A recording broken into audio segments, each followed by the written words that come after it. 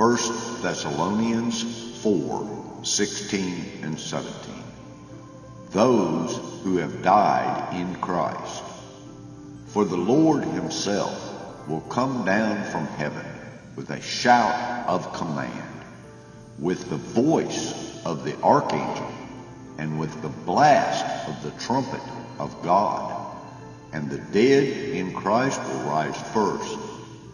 Then we who are alive and remain on the earth will simultaneously be caught up, raptured together with them, the resurrected ones, in the clouds to meet the Lord in the air. And so we will always be with.